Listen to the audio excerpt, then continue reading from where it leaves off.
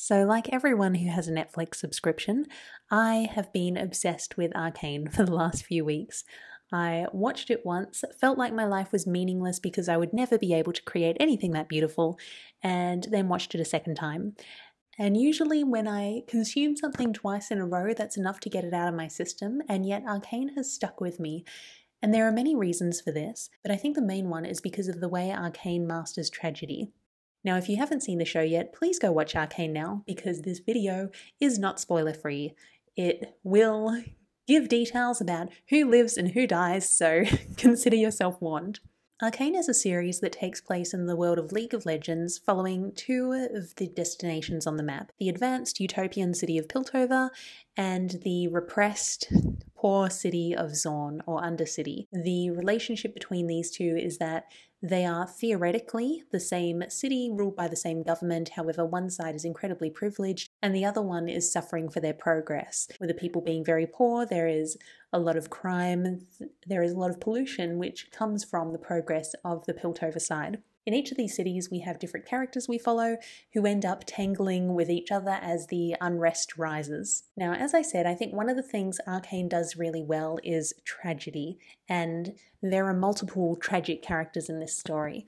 The ones I'm going to focus on are Jinx slash Powder, Vi, Vander, Silco, and Jayce. So, let's start with Jinx or Powder. In the first episode, we meet a group of kids from the Undercity who are planning a heist in Piltover. They want to steal some materials and make some money. The children are Vi. Vi is the leader of the group, the strategist, the muscle. We have Mylo and Claggor. Mylo is the lockpicker, Claggor is the demolitions expert, and then we have Powder, who's the youngest of the group, only about 10 years old, and she is the misfit. She is Vi's younger sister, and they all live like siblings. They've all been sort of adopted by the de facto leader of the Undercity. Powder is in a very difficult position with this group because she is so much younger and smaller. She often isn't ready for the missions they go on. She can't really fight against larger opponents, and she's also called a bit of a jinx. Things tend to go wrong when she goes with them. At the beginning of the series, they plan a heist in Piltover. They're going to steal some goods from a wealthy family's apartment, and Powder actually finds these little sparkling gems and doesn't know what they are. She drops one as they're making their escape and it explodes, causing the wall of the building to blow out and the enforcers to almost catch them. They run from the enforcers, they make it back to the Undercity, they tangle with a street gang, Powder is given the backpack with all of the goods they stole and tries to escape with it, but ends up throwing it into the river so she can escape from her pursuer. So they're on this heist together. She's the one who unwittingly messes it up with the explosion. She loses their reward as well. And we hear a lot of criticism after this, which implies that this is typical. Every time Powder goes along, something goes wrong. So she's this little girl in a group of kids who are much older than her who desperately wants to prove herself. She's also afraid of being alone. She's afraid they're going to abandon her if she doesn't prove herself soon and Vi is the only one who believes in her. So, this is the setup we have for this group of friends. Now, this turns into a tragedy when their foster father, Vander, gets taken in by Silco, who is sort of a criminal underlord at this stage in the story, and they have history, which I will get into later when I talk about them. So Vander gets taken and Vi wants to go and save him and she tells Powder that she can't go along for this mission, she's too young, she's not ready. And Powder feels this incredibly deeply. After the older kids go off on their mission, we cut back to Powder and she is sobbing and snotty and messy on her bed and just distraught at having been left behind. She throws her things in anger and sees the gemstones that she stole from the heist react and they spark. And she realizes that's what caused the explosion at the previous heist. And she realizes oh, maybe I can help this time. Because Powder has always tried to make these bombs which never work. It's another one of the reasons why she has this reputation for things going wrong, because even when she tries to help, she can't. So now she has this really powerful fuel to use in a bomb, and she thinks she can help her older siblings get their father back. So she follows them to where Vander is being held, where the older siblings are having a confrontation with the goons who are trying to stop them from saving him. So she sets up her bomb, this little clockwork monkey toy, puts the gemstones in it, prays that it'll work, winds the cog, and sets it walking towards where Vi is fighting this mutated goon.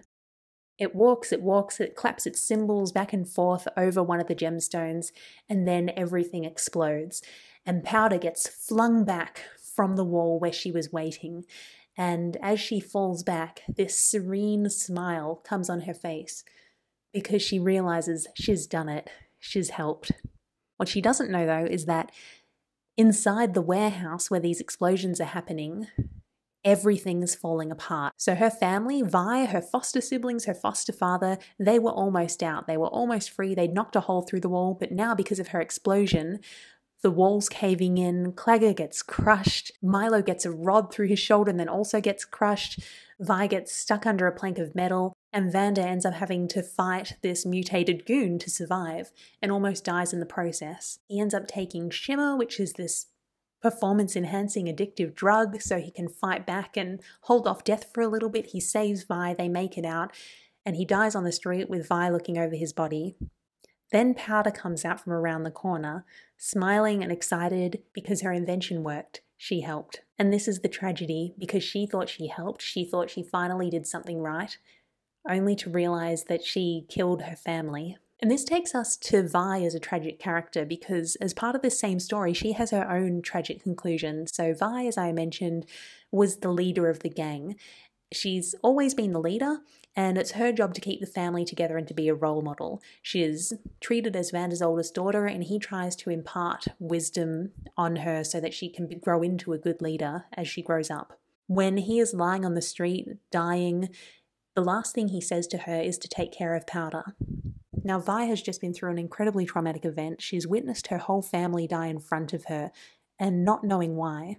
Then Powder shows up, coming around the corner, proud that she helped, and Vi is horrified. She can't believe that Powder is the one who did this. Powder is the one who killed their father, killed their brothers. And she lashes out. She takes Powder and punches this much younger child.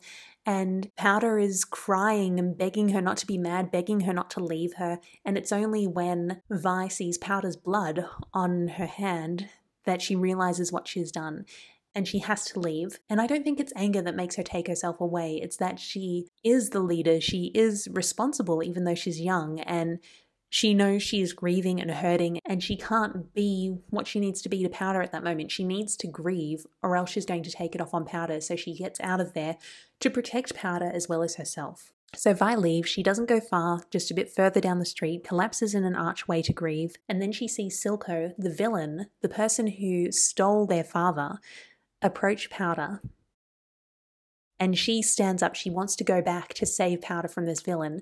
But the moment she stands up and starts stepping towards them, an enforcer catches her. He chloroforms her, she goes unconscious, and she is imprisoned for years. So, in the same instance, you have the tragedy of Powder, who thought she was doing the right thing. She thought she was going to help. She unwittingly killed her family and then was abandoned by her sister and the worst thing that could have possibly happened to her, being abandoned, being alone, being a failure, happened. But it's also a tragedy for Vi because her father's dying wish was for her to take care of Powder, and after she had a moment to grieve, I think she would have done that, and that chance was taken away from her. So obviously, this is tragic, but why is it tragic? And I don't think it's because something bad happened, because bad things happen in most stories. It's what creates drama. But I think it's three things. First is that the bad thing was a result of a good intention. Both Powder and Vi wanted to do the right thing. Powder wanted to help her sibling, she wanted to save Vander. Vi wanted to protect her sister. She wanted to take herself away from her sister when she was in a volatile, destructive state.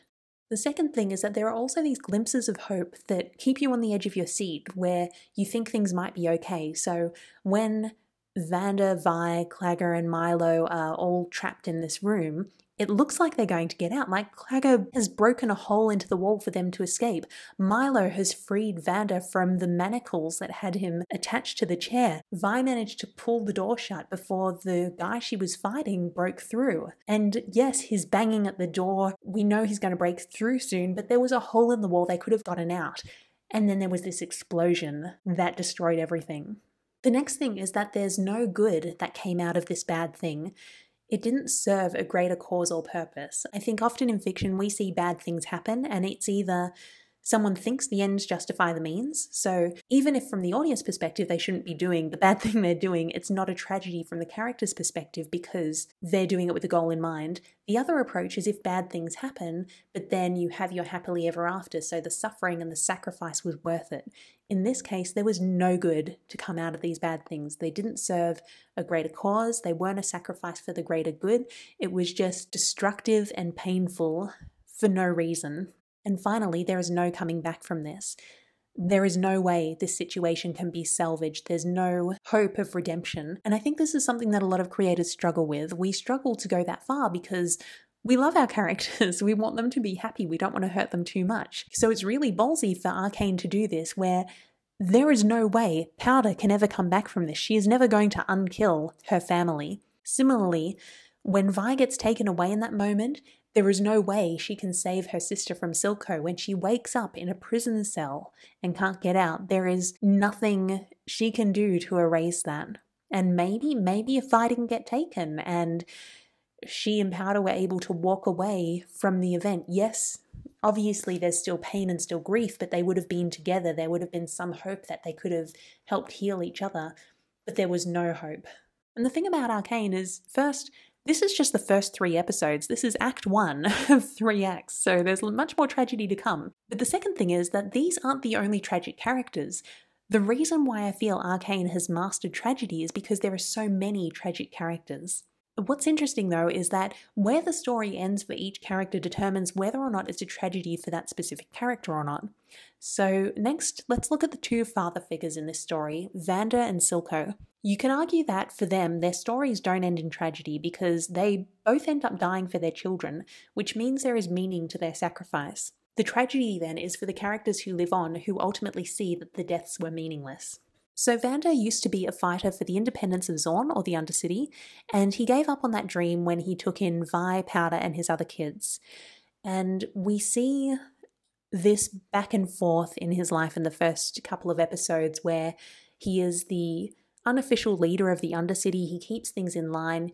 He even works with the enforcers from Piltover, so the enforcers from the more privileged part of this world, to help keep things in balance because he now knows what the cost of war is and he cares about the cost because he has children who he could lose. So, in the first two episodes, we see him time and time again protecting his children and choosing his children over the city of Zaun. He lies to enforcers, he doesn't stand up to the enforcers when they undermine his authority, and we can see this is starting to cost his reputation in front of his people. But ultimately, he has decided that some things are more important than fighting for his city's freedom and independence, and for him, it's his children.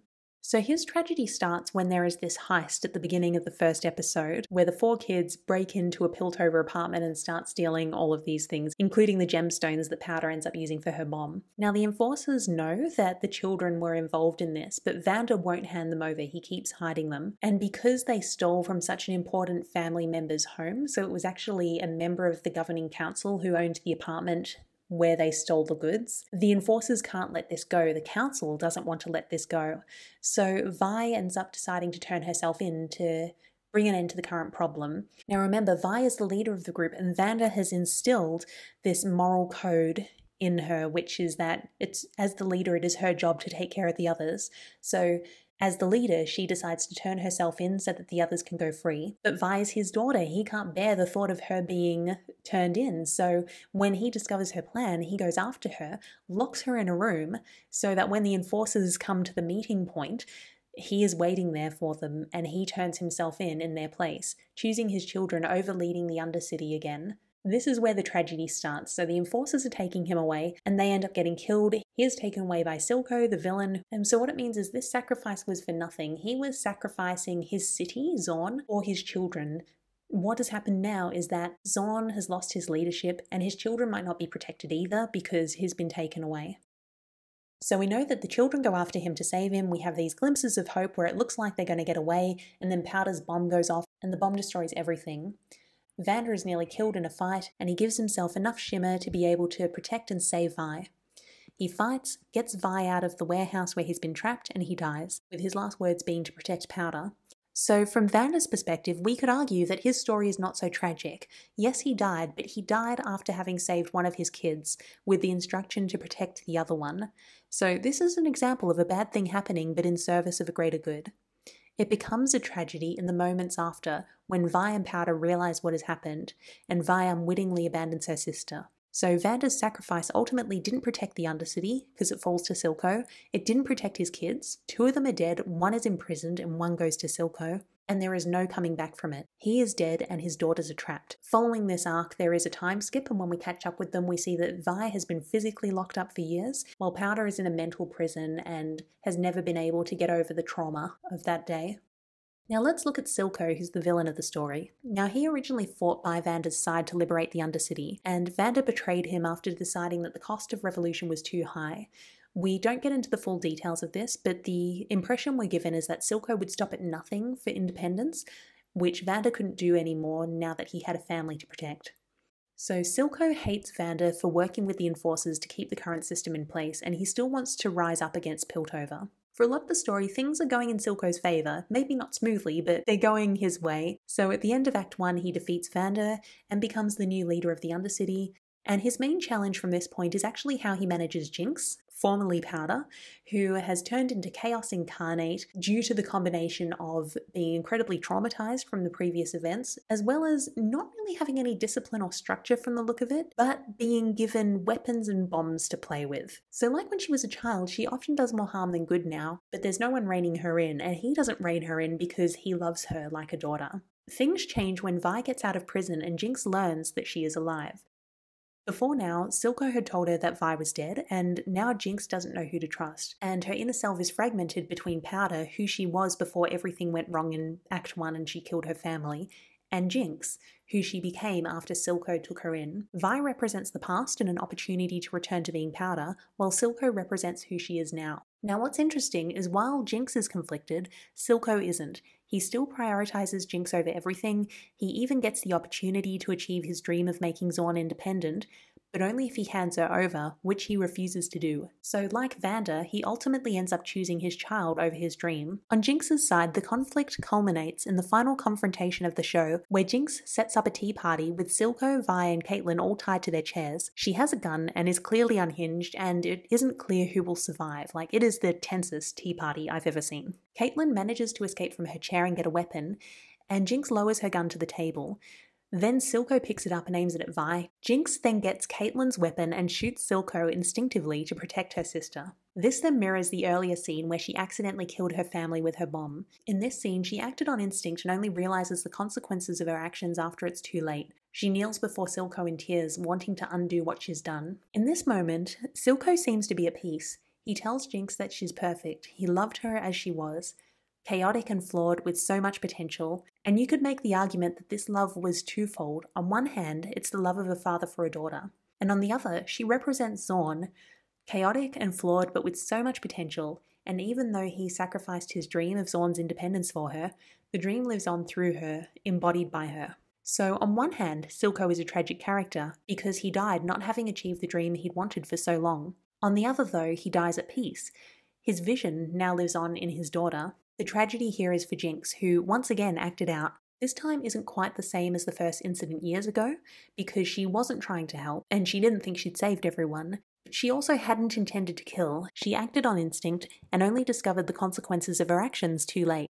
So it's a tragedy for her. She shot her father, and it doesn't matter how much regret she feels because nothing can be done to change it. The final tragic figure I wanted to cover is Jayce, who might have the most classic arc of any of the characters because he rises too close to the sun before falling. When we first meet Jayce, he is a student who wants to find a way to combine magic and science to make the world better. In Act 1, he has a breakthrough discovery, and after the time skip to Act 2, we see him as the golden child due to how his technology has helped the world. He's even given a seat on the governing council of Piltover and a chance to make a difference. As he comes to power, he gains a deeper understanding of the struggles of and threat of the Undercity, and alternates between wanting to fight them and wanting to grant them independence. Initially, he wants to fight them, to both get revenge and stamp out their will after Jinx carried out attacks on Piltover, and this culminates with him going with Vi to destroy Silco's Shimmer factory. It's only when he's there that he sees the true cost of violence, because the factory is staffed by children and he accidentally kills one of them. So for the first time, he understands what the cost of a war might be on both sides,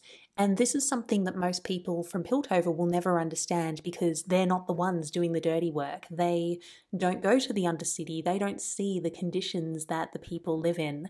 They just get to enjoy their privilege. So this leaves Jayce to consider a peace deal. First, he offers to grant Zaun its independence, but only in exchange for Jinx, because Jinx has caused a lot of damage and injured a lot of people. When Silco refuses, the council vote to grant the Undercity independence anyway, recognising that they have treated the Undercity too badly for too long for any peaceful cooperation to work. As they are voting on this, though, voting on what both Silco and Vander always wanted, Jinx has fired a missile at the council after Silco's death. She and Silco didn't know the council meeting would be voting on giving Zaun its independence, and by taking this action, she is probably triggering an outright war between the two factions. It could be something she realises later, once again when it's too late to turn back. It's also a tragedy for Jayce, though, because the moment he decided to move ahead with a peaceful path, the moment he convinced the council to vote with him, it is a moment too late. And there are countless moments like this in Arcane, and I think what makes it so affecting, what makes it so heartbreaking, is that it is so real. Because in real life, you don't always get second chances. There are things that you do, there are mistakes that you make, there are choices you make and there is no coming back from them. And sometimes you don't see the damage until after the deed has already been done and there's no going back. So those are some initial rambling thoughts on Arcane. I hope you enjoyed this video. It is my first attempt to do an essay like this. So if you liked it, please give me a thumbs up and let me know if I should do more content like this. And I will see you next time. Bye.